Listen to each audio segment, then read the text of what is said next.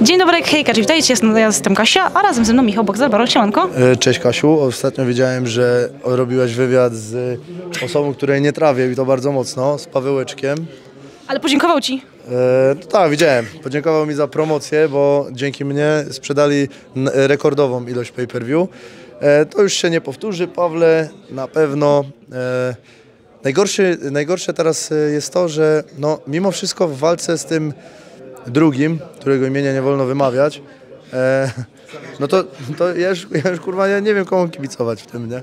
Może po prostu odłożyć ten temat na bok Tak, tak, totalnie. tak, no właśnie tak robię, nie? W sensie ignoruję to, ale no, Ale Michał, Ty sam jesteś prowodyrem tych różnych rzeczy. Po co nagrałeś mokry sen włodarza i po co go gdzieś tam zaczepiałeś? W sensie dajesz mu atencję mimo wszystko. Z całej antypatii, jak ja kogoś nie lubię, to o nim raczej nie rozmawiam. I Nie, no to, to to jest? jest tak, że ten, nie, że y, jeżeli EBEB, bo to EBEB poruszył temat, to nie jest tak, że już jak to poruszył, ja mu odpowiadam. Ja odpowiadam na film EBEB, który nagrał właśnie No, z Pawłem i to było coś takiego, że EBEB już sam sobie ma zasięg, więc to jest dla mnie okazja, żeby odpowiedzieć, bo to już i tak się zesnowbolowały te viewsy.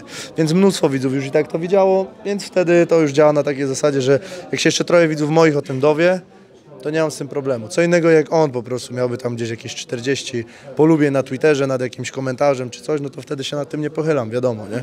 Ale jak już jest tak, jak, jak, że, że coś już urosło, no to wtedy, wtedy się wypowiadam. Na, ale- mam naprawdę dwie minuty jeszcze, nie? Wiem, wiem, ale jeżeli widziałeś ten wywiad, widziałeś cały, czy tylko ten fragment, gdzie tam Ci dziękował? Bo chciałam zapytać Nie. o sytuację z Prime'em, to co on powiedział, że Popek zawalczy, Zusy zawalczy e, i gdzieś tam to jest przez Was robienie duopolu, jak to jest? Nie, po pierwsze to w ogóle e, to, co, to, co my zrobiliśmy, to jest odpowiedź na to, co oni robią.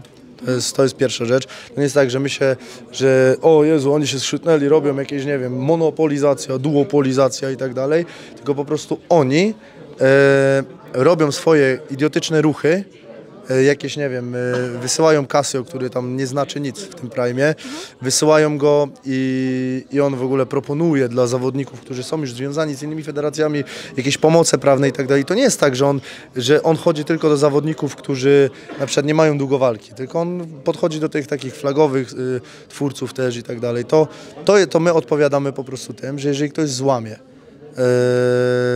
umowę, to nie będzie miał wbity ani do High League'a, ani do Fame'u, bo jak sobie ktoś na przykład zburzy most z High League'iem, to zawsze zostaje mu Fame i Prime. Jak ktoś sobie zburzy z Fame'em, to zawsze zostaje High League i Prime. A tak po prostu zostanie, zostanie jedna, jedyna im federacja i wtedy te, też zawodnik będzie myślał, jak będzie chciał złamać e, warunki umowy, bo, to, bo ty, to tylko i wyłącznie o to chodzi. Tutaj nie chodzi o żaden duopol, żaden monopol.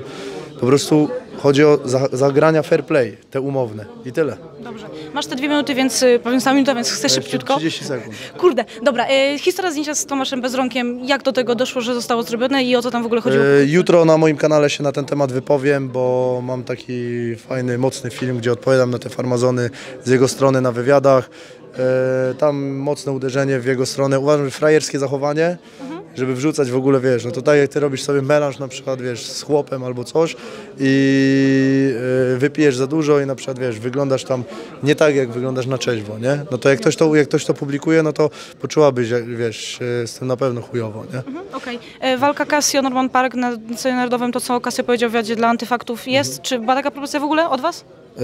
Na Stadion Narodowy? Tak, scena narodowy w czerwiec, tak Casio powiedział. nie, To, to jest też mega farmazon i też na to odpowiadam. My już wiedzieliśmy dawno, że nie ma terminów na 2K23, więc co ten debil pierdoli, że my mu w ogóle e, zaproponowaliśmy e, walkę na Narodowym. To jest idiota po prostu. Idiota, farmazon, don kondom i frajer.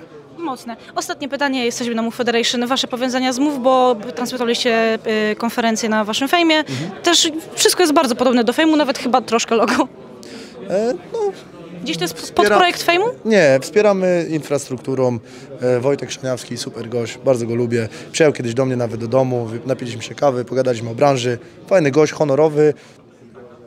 No, kurwa, uwielbiam typa, nie? Okej, uważasz, że Move przebije freak fighty kiedykolwiek? W sensie freak, y, freak piłka noża przebije freak fighty?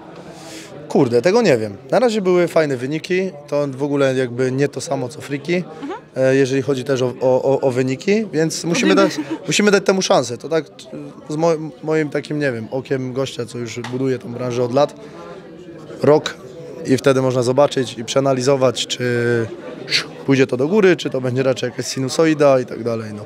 Już w tym momencie mamy zajebistych artystów, influencerów, którzy ten, którzy biorą w tym udział, e, więc to jest jakby najlepsza droga do tego, żeby już w tym momencie widać te maksymalne słupki, nie? Widziałem, że Mata gra w piłę, może 3-3, Gombao może. e, mogłoby też tutaj e, zawirować. Zobaczymy. Dobra, okej. Dziękuję Ci Dzięki. bardzo.